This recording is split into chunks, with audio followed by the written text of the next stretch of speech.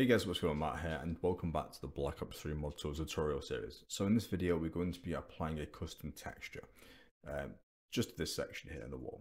And all this will be is my YouTube logo we'll be putting here. Now texturing materials, all that sort of thing um, is quite, you know, it can go quite in depth. So for this video I'm simply just going to be pretty much putting a poster on the wall effectively. Um, so everything that we'll be doing will just be for that. Um, there are quite a lot of settings that you can sort of customize and do, you know, a lot more with. Um, if you are interested in going a bit more advanced on this sort of stuff, uh, then you know, of course, leave a comment, um, and I, will kind of do what I know. But um, as I say, th- there is a huge amount, and you, you couldn't possibly cover it all in one video. Um, so I'll kind of expand on this, uh, you know, where I can and you know and where is kind of I guess asked for as well. So first first thing we need to do is of course have an image. So I've just got my YouTube logo here, nice and easy. Now there's a couple of things that we need to do uh, before we can actually put this into the map.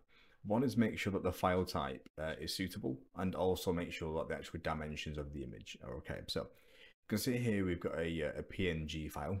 Um, that is perfectly fine. I don't need to um, reformat this or anything like that. Um, you'll be wanting to use either a .png or a .tiff. Um, I believe you can also use a .exr, but I think those are mostly used for skyboxes. I don't know if you uh, if you'll be using them for like you know regular textures, um, but a .png or a .tiff is usually what I work with. So the file type itself is fine, the format. What isn't okay in this one though is this is 500 by 500. You can see dimensions 500 by 500 uh, and that's of course you know that's the pixel uh, width and height. Now you're going to need this to be uh, a power of two. So some pretty typical values. You've got uh, 512 by 512. You've got uh, 1024 by 1024, and you've got 2048 by 2048. Um, you can also use, you know, use less than that. Um, in this video, I'm going to be using 256 by 256 just because um, I don't need a big image.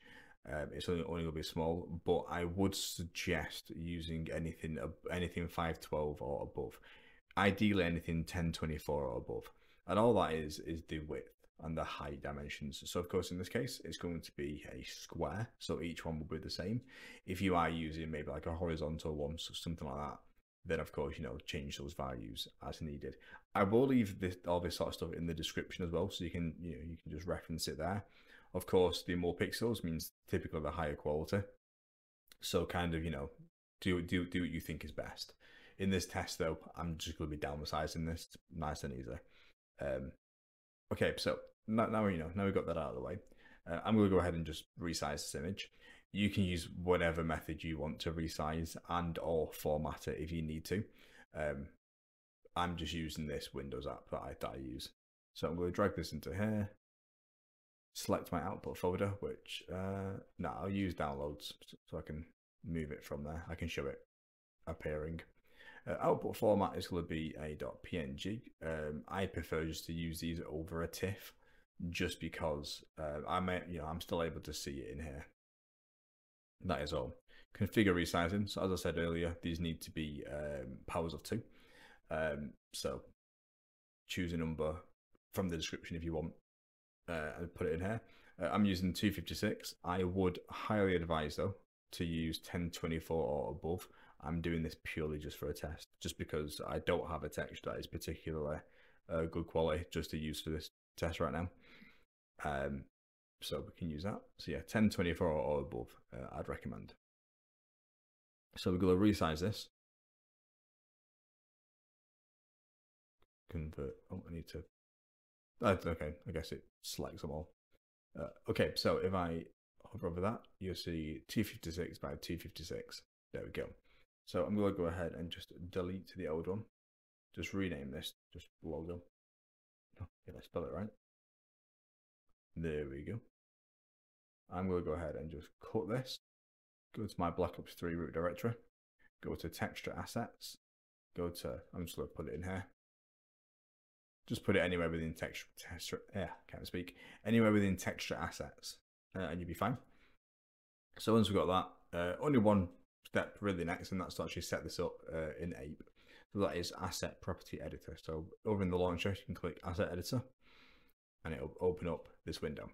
Now, if you've worked with G GDTs before, then a lot of this will be fairly familiar. If you haven't, it's effectively just a way to sort of hold information on, on an asset. That's really, that's all they really are. Uh, in this case, I've already got some GDTs I use um, set up here. And I've, I've filtered by them. Um, if you don't have one uh, and you want to create a new one, then just go up here and click on new GDT. That's fine. I'm going to be putting this in my global GDT though, because you know, this may be used in multiple apps. It won't actually be used this. I'm going to delete it after this video, but you know, I guess you know, in a normal use case, it could be used in multiple maps. So once you've got your GDT created or selected, you'll right click and go on new material. Uh, I'm going to call this MTL. So materials are typically prefixed with MTL. Uh, so MTL underscore P115 and then logo. Like that. Uh, okay, that's going to create the new material. Next, we're going to leave this as geometry. I'm going to change this one to lit. You'll notice we have a huge amount of options in here, and this is depending on what, what you want to do. Um, you might want to have a texture that is emissive. That means it sort of gives off a better light. So, you, you know, maybe it's like a window. You know, you and them will look like the room behind that window is actually, you know, I guess, you know, the lights on or something like that. Um, that's typically where, you know, that's like one use case for that. For this, you know, for this video though, we just could be making a pretty basic poster, you know, just to keep it simple feel free though to sort of mess around with these settings uh, and see you know see what you can sort of I guess make. So geometry lit. Um, surface type is literally when you shoot type. Uh, how do you want it to react? So obviously, you know, maybe you've got some concrete, you want it to kind of look like it's concrete being shot at. So you'd uh, select uh, concrete. In this case, it's going to be a poster. So, uh, well, normally it's paper. So I do paper gloss range I typically match with material type a lot of the time. This is also good with paper. And that's literally, you know, how, well, the actual gloss, I guess, factor of it, you know, maybe you, sh you know, you shine a light on it. If you want it to look dead shiny, um, I guess um, rubber might be much more shiny than brick. Is? Is, you know, I guess a uh, a good a good way to, to sort of look at that. Uh, so paper for both of them. Uh, usage. So this is where if you do want this to be in an editor. So in this case, it's going to be a texture, but maybe you're working on a texture for like a model. Like you don't necessarily want that to be available in Radiant to select. Uh, that's of course where you keep it as not an editor. In this case, it's going to be an, an you know a texture that we can actually apply to a wall. So I'm going to put this as interior wall. Um, all this is going to be is when you go over to your um, textures window. Uh, you're able to sort of filter by usage and whatnot. Uh, you know, you got a few filters up here. Um, that's all that's for. So it'll be within the interior wall sort of category, I guess. So that is as close as I think as you know that would be relevant. Next, what we need to do is actually apply the texture now into this. So there's a few sort of, I guess, individual files that I used uh, in one material. So maybe you had, uh, in this case, you know, because it's just a nice, simple poster. So all, all we need is the actual image. But maybe you were making a rock texture. Now, you absolutely could just put a rock texture on that, not a problem. But you might also want it to, you know, kind of look like um, it's got a bit of depth to it. You know, just make you know make it look like it's got a few um, a few, a few deeper and sort of more shallow parts to that texture, even though it actually doesn't have. Um, that's where you can sort of use the, you know, use a normal map, for example. Um, you know, there's various things that you could be using. So if you have changed any settings up here, you might have more or less options down here. So feel free to go ahead and play around with those. Um, I personally don't um, do anything like this when I'm doing custom textures because it's just going to be like, you know, a poster or something like that. But if you do know how to make things like normal maps and stuff like that, then this might be quite useful for you to uh, for you to sort of use.